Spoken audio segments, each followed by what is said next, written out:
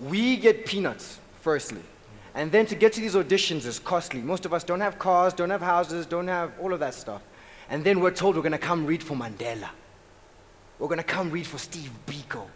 And we get these books and we know these people. We grew up hearing about them and we read and we cram. And this is the moment we're waiting for. And you come to the audition using that last money that you borrowed from whoever. You get there, you kill the audition, you go home. Idris Elba comes in the next day. Now we know Idris Elba was caught six months ago because he's got a schedule. Mm.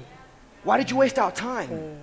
Why did you waste our money? That is an act of war to the artist. And the crew, man, how many of our guys go overseas? Our cinematographers are top notch, man. I don't care what they say they shoot very, like, incredible stuff in a limited amount of time. To compare a, a cinematographer here to a Roger Deakins who has a whole day to, like, get a real beautiful shot is unfair, but our guy is gonna go for the Roger Deakins standard within that, like, hour that he's given. Mm -hmm.